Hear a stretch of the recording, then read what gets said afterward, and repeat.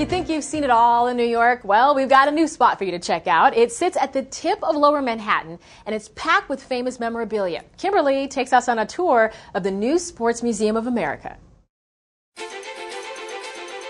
It's home to some of the most memorable moments in sports history. We looked across every sport and, and, every era and every decade of American sports, and we found stories that would really resonate for people. Some familiar, some a little less familiar, and I think we did very well. John Urban is the president and general manager of the new Sports Museum of America in Lower Manhattan. He says a lot of thought went into selecting the museum's artifacts, making sure there was a balance between men and women athletes. Brandi Chastain sports bra what an amazing story the Women's World Cup team was that year. All the great personalities, the largest crowd ever to see a women's sports event uh, in the Rose Bowl, and that amazing moment when she, uh, you know, when she won the game, and of course revealed what is now the iconic sports bra. Uh, we reached out to Brandi, and, and, she shared that with us, so that's on display now. You'll also find Danica Patrick's helmet and Billie Jean King's report card, along with Mark Spitz's suit he wore to the opening ceremonies at the Olympics.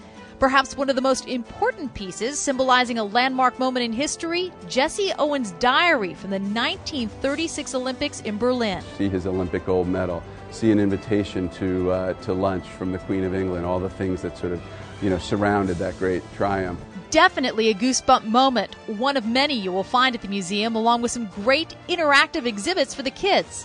It's great to have them experience stories that they obviously didn't live through themselves, but to watch a son or a daughter uh, you know, learning about Sarah Hughes or learning about Jackie Joyner or learning about the Miracle on Ice when they have no memory themselves, but the parents want to share. And remember, this is what happened, and you know, I've told you this story before, now here it is coming to life. And you can expect to see new exhibits with the great moments in sports history that change every day. This has been Better.tv. We're always on with tips and ideas to make your life better. Send us your thoughts, ideas at Better.tv. Together, we'll make your home, family, and life better. Thanks for watching.